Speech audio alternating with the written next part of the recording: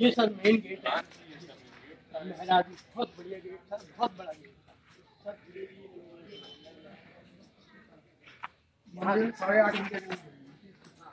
ये जो है यहाँ से सीधा सर दो तीन हाँ। नहीं यहाँ अलग ये अलग था सर ये यहाँ से इसमें नीचे छह फुट की वो सर ऐसे चले आए वो जो नीला मकान है उससे पीछे था ये सब स्ट्रक्चर आप कल गए थे ना?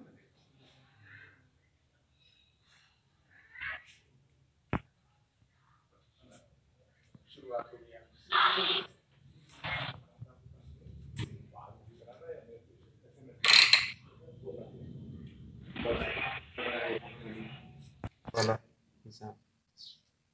इसमें कोई आपके नक्शे में कोई आबादी तो नहीं दिख रही है? यहीं से आप क्लियर भी हो जाएगा। शर्मा जी कैसे? ये हैं शर्मा मैं सब टीम से कराता हूँ हाँ वो नहीं गए। तो तो या को- प्रेस नहीं हो रही है। ये बहुत बड़ा है सर छह बीघा में है ये सब कैप्चर कर और अनऑथराइज मेरे ग्रैंडफादर इसकी सरबराही थी। सरवरा का सरबराह थी। और वो फिजिशियन थी। लेकिन वो लोगों ने परेशान किया। यही दवाई की दुकान कौन- बनाई गई है चिन्हित करने के लिए जो भूमि है उसको। हाँ ये तहसीलदार साहब सदर को ये विज़िट किया गया है नियमों की करके यहाँ जो साढ़े छः जो उसको चिन्हित करके और उसकी मौके में क्या चीज़ है उसका एक रिपोर्ट बना गया है से 500 साल से अधिक पुराना मंदिर है। यहाँ ये कहा जाता है, रिपोर्ट के हिसाब से कि महादेव जी खुद रहते थे और वो आम पब्लिक को राहत, इलाज जो ज़रूरत की आवश्यकता उनकी आवश्यकता की वस्तुएँ उपलब्ध करा रहे थे लेकिन उन्होंने उनको किसी ने नहीं देखा कि कभी वो बाहर जाते थे। एक बार अकबर ने उनको अपने दरबार में उपस्थित होने को कहा यह रिकॉर्ड में चिन्हित है। तब उन्होंने कहा कि मुझे आवश्यकता नहीं है अकबर चाहें तो यहाँ आ सकते हैं। ये आगरा और अकबर नामा पुस्तक के चालीस वर्ष पर अंकित है। शर्मा जी ये कितनी कुल भूमि थी मंदिर की और अब क्या स्थिति है? यह ज़मीन यह बाग जो है छह बीघा तेरह बिस्वा रकबा में है। जो पक्के रकबा में आता है। और इसमें इक्यासी इमली के पेड़ ढाई सौ नीम के पेड़ आम अमरूद लगे हुए थे।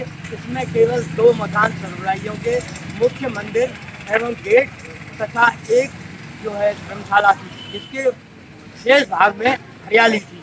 लेकिन भूमाफियाओं ने इस पर कब्जा कर लिया और धीरे धीरे इस पर पूरे अवैध निर्माण कर लिए मैंने कई बार यहाँ से ले नीचे थाना जगदीशपुरा से लेके प्रेसिडेंट ऑफ़ इंडिया तक शिकायतें की हैं और मुझे प्रधानमंत्री के भी तीन पत्र प्राप्त हुए हैं जिन पर मुख्य सचिव को आदेश दिए गए हैं कि 60 दिन में कार्रवाई करके मुझे अवगत कराएँ और मुख्य सचिव को अवगत कराएँ। आज की पुलिस कार्रवाई को देखने यहाँ पर लगभग 500 वर्ष पुराना एक कॉम्प्लेक्स है जिसमें बाग है एक पुराने मंदिर है जो साढ़े छः बीघा का पूरा लैंड पीस है।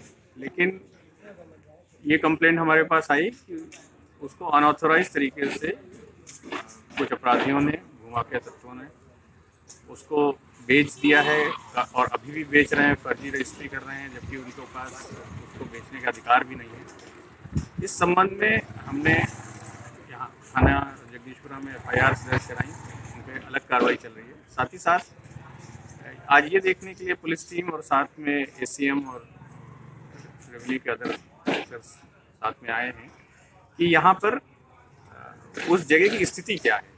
क्या वो बाग यहाँ पर मौजूद है? तो देखने में लग रहा है कि बहुत अनऑथराइज तरीके से यहाँ पर ज़मीनों पर कब्जे कर लिए गए हैं और जो मूल बात था उसको ढूंढना मुश्किल पड़ रहा है। अवैध डेरियाँ हैं, अवैध निर्माण हुए हैं। तो कोशिश ये की जाएगी कि फर्दर अब डैमेज ना होने दिया जाए किसी प्रकार का। और जिन्होंने भी इस इस प्रकार की कार्रवाई विगत कुछ वर्षों में करी है, उनको चिन्हित करके कार्रवाई कराई जाए उनके खिलाफ। आपराधिक जिन्होंने षड्यंत्र रचे उन पर कार्रवाई कराई जाए। साथ ही साथ जो अवैध स्ट्रक्चर जितने भी बने हैं, उनको नियमानुसार उनको ध्वस्त कराने की भी कार्रवाई करी जाए। इसमें आने वाले समय में पूरा सर्वे करने के बाद, पूरे स्टडी करने के बाद पुलिस और प्रशासन मिल करके ये ज्वाइंट स्टेप ले सकते हैं।